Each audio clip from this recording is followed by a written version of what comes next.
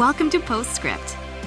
Here we hope to answer your questions and help you dig deeper into the messages and sermons at FaithBridge by talking with the teacher of the day.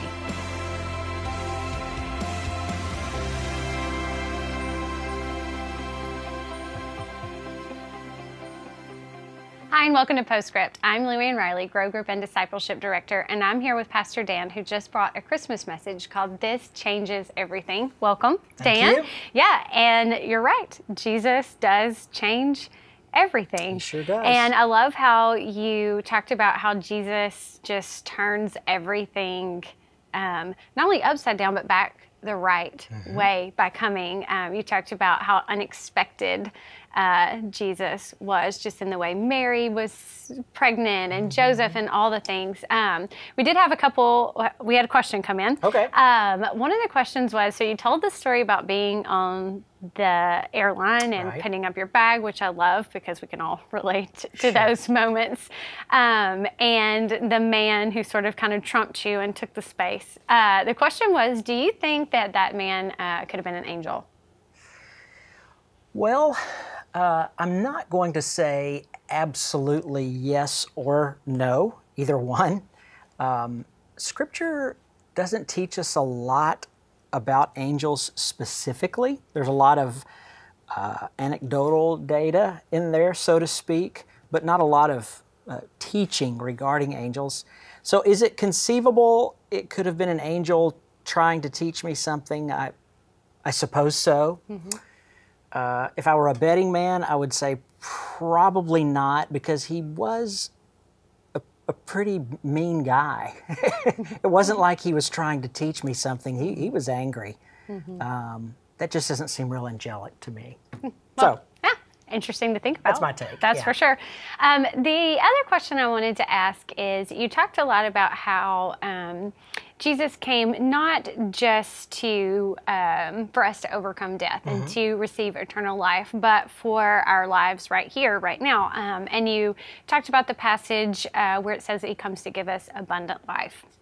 And I think you, you hear that and you think, what does abundant life mean? Does it mean that like I'm gonna have what I want, I'm not gonna run out of money, and I'm gonna have resources and houses? But what is Jesus talking about when you say like, oh, Jesus came to give me give me this abundant life?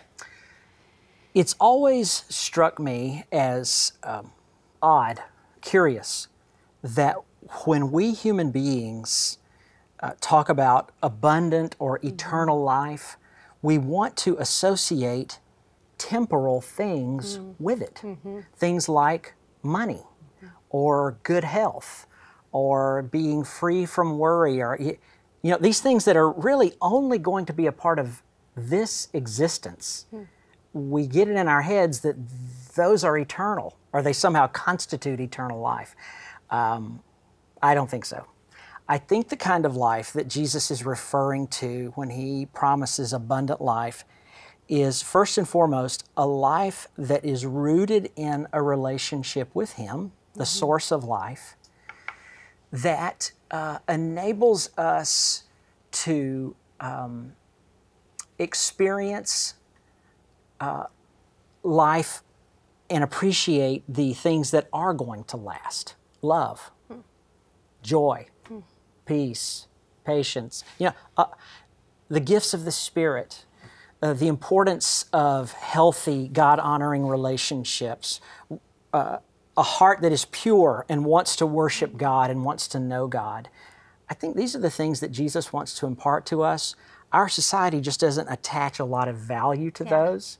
So we naturally think, oh, well, abundance is stuff. But I, I don't think that's what Jesus is about there. I think he's about calling us to a higher plane of living that if we will give a chance, if we will explore, we will come to see far exceeds anything that this world has to offer. Yeah, that's good because I, I do think we we associate it with that. And uh, in the message, you talked about um, just how Jesus coming as we approach Christmas Eve or approach Christmas this week. That um, there were there were quite a few things that you listed off that he came for uh, for us to know him and to have purpose and meaning um, and to draw into this relationship. And then that's where the abundant Abundance is found. abundance is found. Yeah, so this with is a, Him. it's a good message to think about as we approach Christmas Eve, like just you. the powerful impact of Jesus coming on our lives. Amen. Yeah, so thank you for the message today. Thank you for joining us here for Postscript. We won't have Postscript next week for Christmas Eve, but we'll be back here December 31st for Duffy Robbins. Hope you'll join us back then. Thanks for joining us for Postscript. Help us keep the podcast interactive by submitting your questions during the morning services. Learn more at faithbridge.org/postscript.